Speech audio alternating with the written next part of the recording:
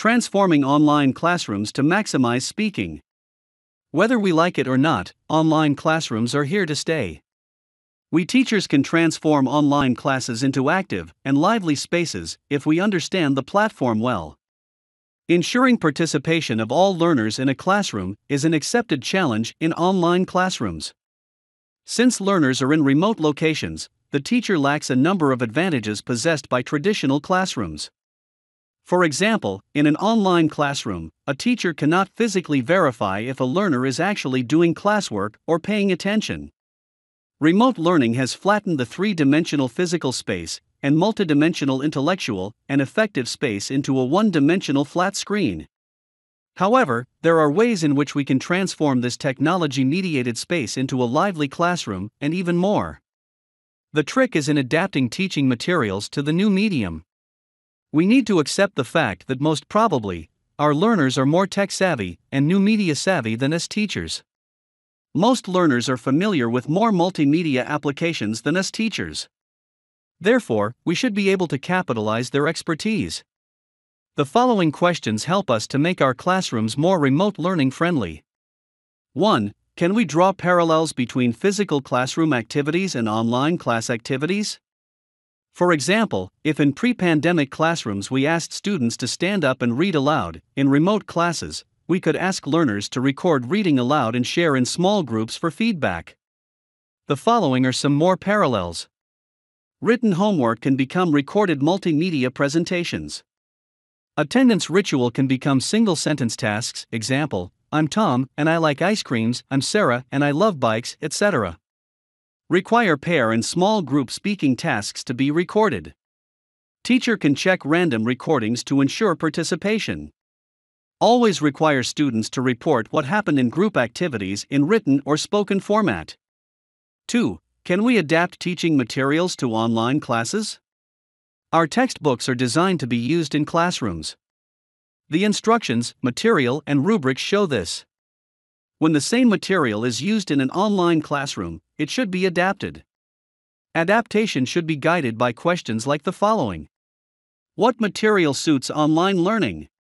Should I ask learners to look at their books, or should I display the book on their screen? Or can I convert the book into an interactive web page? What about Blackboard? Is it okay to write on paper and display in front of your webcam? Or should you type or draw and share a screen with learners? Can you use audio-visual content as prompts and models for speaking tasks? For example, in an online class, Providing a video to watch or an audio to listen to must be easier than asking students to read from their textbooks. Is it okay to submit recorded multimedia responses for evaluation? Or does it overburden the teacher in terms of time? 3. What do students generally speak about? What motivates them to speak?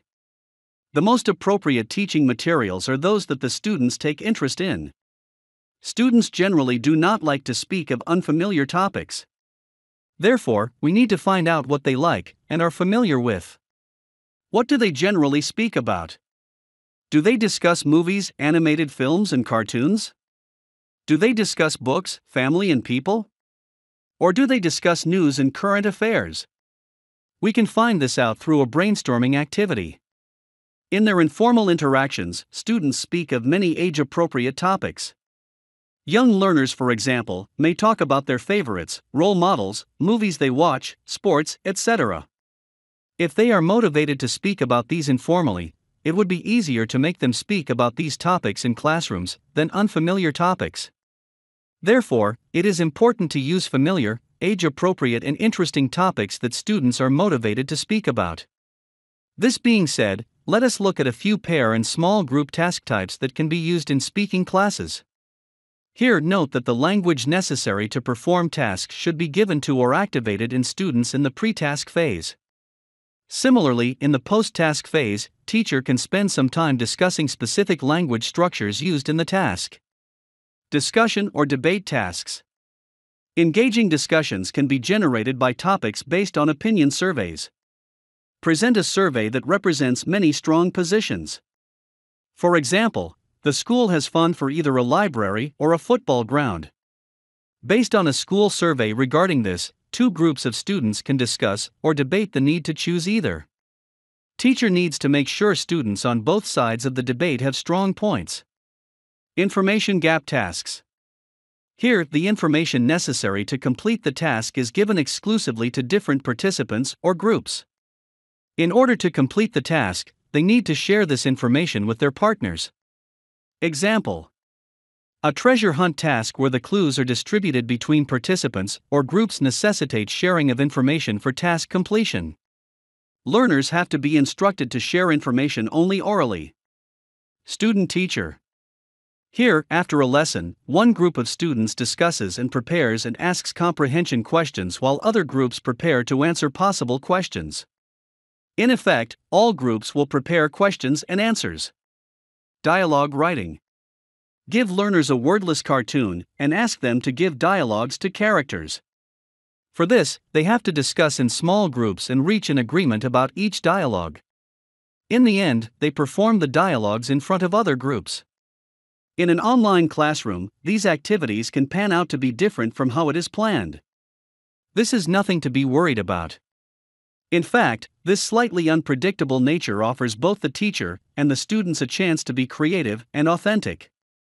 Online classrooms are here to stay at least for another year. To make the most of the opportunities they offer, we need to explore and understand the platform and its nature. It has the potential to be equally good or even better than traditional classrooms. It's up to us to embrace it to the benefit of our students.